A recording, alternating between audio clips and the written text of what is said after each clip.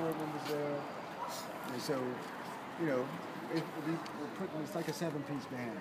You know, Yeah. we got all the old guys and the new guys. so it's pretty rad. But uh, we did like ten songs. So, But I saw on Facebook like cover already done. well, yeah, that was because As was, uglier, was, as uglier as uh, I forgot. uh, ugly as ever before. Oh can't yeah, something like that. Yeah. But the thing is, is they thought of that. Whit and Klaus came up with that a long time ago, and had the artwork done before, way before we wrote the new record. So they knew what it was going to be called, you know.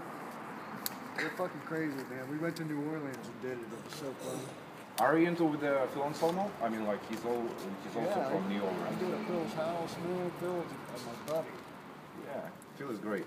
Yeah. And what, what's uh, Rex Brown? Is he sober now? I mean, like You know, I don't, I'm not. I don't know Rex that well. You know, I know him as hey, you know, but he's got like uh, Kill, Kill Devil know, I- Kill I always- project. The same thing with Vince, who's you know Vince, great drummer and all, and we're friends, you know. But we never, we all, I always hung out with Diane and Phil, you know, Yeah, yeah. when we were. Hellyeah, is uh, is commercial project. I mean, like it's not that good. That new one is not commercial. though. Yeah. It's called Blood for